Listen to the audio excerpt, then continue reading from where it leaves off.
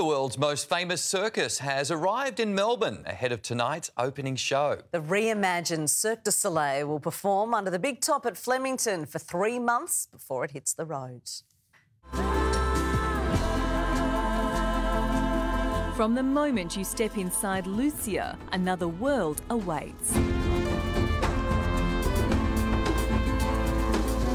It's the circus reimagined among oceans and jungles. Luzia is inspired by an imaginary Mexico. So our writer and director, Daniele Finzi Pasca, spent over 10 years living and exploring Mexico and really wanted to celebrate Mexican culture, different Mexican traditions and folklore. The show's directors describe it as a waking dream. For Aussie star Helena Merton, it's that and more. After performing all over the world for years, she's excited to be home. I started when I was five years old, um, and my passion and my love for it, I think, is really what is driving it and still is. Um, so it's kind of easy to work hard in that sense. We have some amazing, amazing artists and you know, the ability for them to just show the maximum level of what the human body can achieve and perform.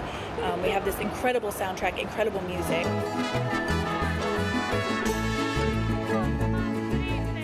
And there'll be plenty of opportunities to see it for yourself. The show opens in Melbourne tonight and from June will go on tour right around the country.